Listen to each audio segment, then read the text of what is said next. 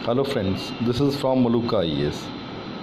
We are introducing a very unique and a very new feature in the mains test series and the feature along with the earlier feature that we have introduced पहले वाला feature है हमारा pre test discussion video जिसमें आपको एक पूरे एक हफ़्ता पहले पूरे के पूरे सोर्सेस के बारे में बताया जाएगा कि कौन सा सब सब टॉपिक आपने कहाँ से पढ़ना है।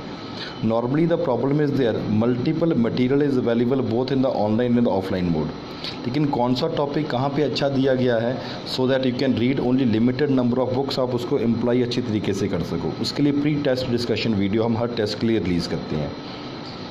Another unique feature that we are introducing is the video valuation जो भी आपने लिखा हुआ है, उसकी प्रॉपर वीडियो जो गलतियाँ हैं, किस तरीके से वो सही होना चाहिए, उसकी प्रॉपर वीडियो बनाई जाएगी। बिकॉज़ वी पर्सनली बिलीव कि जब आप पढ़ते हो कुछ भी बुक से पढ़ते हो तो आप थोड़े टाइम के बाद भूल जाते हो। बट जब हम कोई मूवी देख रहे होते हैं या क्रिकेट मैच देख रहे होते हैं या कोई सीरियल देख रहे होते हैं तो that is always there in the mind for a long point of time उसी कंसेप्ट को चलते हुए कि हर एक स्टूडेंट की हर एक आंसर की वीडियो वैल्यूएशन मिलेगा। सो so, जो आप सुन लोगे एक तो हम टेस्ट में टेस्ट की डिस्कशन तो ले ही रहे हैं। उसकी आप अगर आप ऑफलाइन स्टूडेंट हो तो आप क्लास में हो जाओगे। ऑनलाइन स्टूडेंट हो तो आपको वीडियो मिल जाएगी। साथ ही साथ में आपका क्योंकि वो हाँ तो एक मॉडल आंसर डिस्कस होता है। यहाँ पे होगा वन टू वन आपकी पर्सनल क्या प्रॉब्लम्स है उसको ओवरकम करने के लिए एक प्री का डिस्कशन वीडियो होगा वीडियो वैल्यूएशन होगा। I give a small demo of it एक क्वेश्चन है on On 23rd June 1757, medieval age ended and modern age began comment. यहाँ पे ऐसे क्वेश्चन है। तो द जैसे the student has written an number of points क्या सही है क्या गलत है? Not only we have return it what set that we have to clearly include certain feature जैसे age is a process and not an event and there for beginning और end of an particular age एक age event नहीं होता, हमेशा एक process होता है। This is what was ignored by the student उसी तरीके से हमने वैल्यूएट किया। Reasons for critical beginning it is not what is needed तो जो लिखा हुआ उसको हमने टेक नहीं किया हुआ है, जो गलत है। साथ में हम आपको बताएँगे क्वेश्चन का स्ट्रक्चर कैसे होगा। इन द कंटेक्स दैट आपको लिखना पड़ेगा प्रॉपर इंट्रोडक्शन कैसे होगी प्रॉपर मेडिवल एरा के फीचर क्या होंगे मॉडर्न एरा के फीचर होंगे everything has to be written economy got interlinked economy got interlinked is a very normal point बड़ा हल्का सा पॉइंट है, लेकिन अच्छे तरीके से क्या लिखना है? The machine made economy from the hand made goods से machine now machine made goods were there early it was hand made goods उसी तरीके से अलग अलग फीचर को आपको प्रॉपर वीडियो रिकॉर्डिंग के साथ बताएँगे। जैसे यहाँ पे इंक्लूड करो the democratic form of democratic rule was there from centralise political system modern era के social economic and cultural outlook किस तरीके से था? That has to be written in the answer और प्रॉपर आपका वीडियो वैल्यूएशन अगर कहाँ पे क्या गलत है। तो यहाँ से फ़ायदा क्या होगा कि एक बार तो आपने डिस्कशन सुन ली।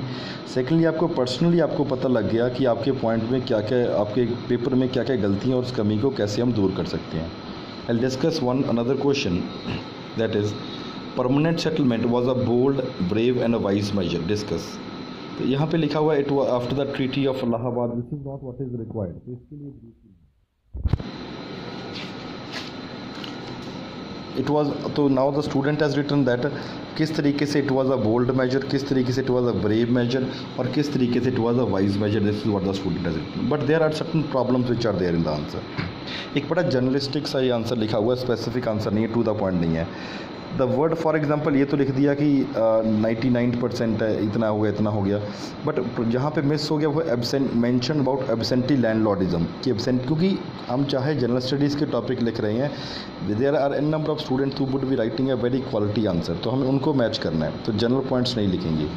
It was a bold measure में जहाँ पे कम्प्लीटली मिस कर कर गया student due to the absence of any procedure processor settlements pros and cons could not be just तो ऐसा एक नॉर्मल पॉइंट अब इट वॉज़ समथिंग न्यू उसकी जगह पे आप इस तरीके से लिख सकते हो कि कोई इसका प्रेडिसेसर नहीं था तो प्रोज एंड कॉन्स इसके नहीं पता लगते।